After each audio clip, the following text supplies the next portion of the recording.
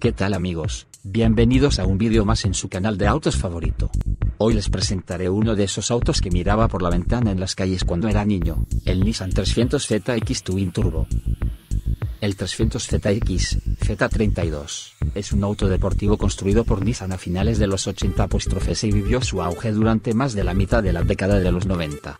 Este auto es diferente al Z31, el cual lleva el mismo nombre, pero que se refiere a la versión anterior del modelo que veremos en este video.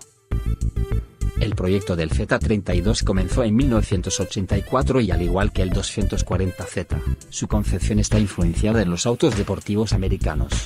Yamashita decidió alejarse un poco del diseño del 240Z y se aventuró con nuevas proporciones para el auto, mucho más ancho para encajar en las amplias carreteras de los Estados Unidos, aunque dificultaba su tránsito en carreteras europeas y japonesas. El 300ZX se encontraba disponible con dos motorizaciones, un V6 de 3 litros y 220 caballos de fuerza, o un V6 de 3 litros Twin Turbo que lograba 300 caballos a las 6.400 revoluciones y 283 libras-pie de torque desde las 3.600 revoluciones.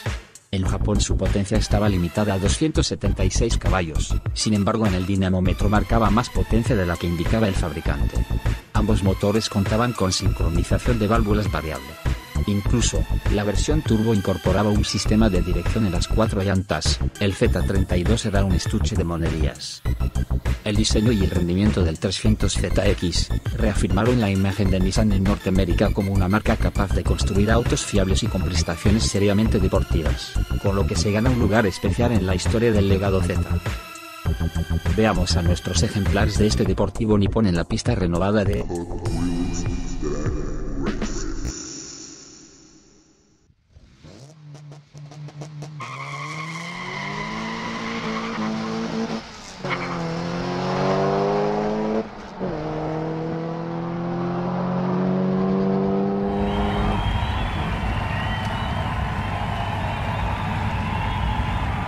¿Qué les pareció el vídeo amigos? No olviden que me ayudan muchísimo si comparten este vídeo, de igual manera si se suscriben o si dejan un comentario. Les dejo el link de la aplicación con la cual grabé este vídeo. Gracias por el apoyo a todos los amigos de Indonesia, de Brasil, de Estados Unidos, de Polonia, de Guatemala, de Colombia, de Japón, de Portugal y España, y de muchos otros lugares que me han escrito.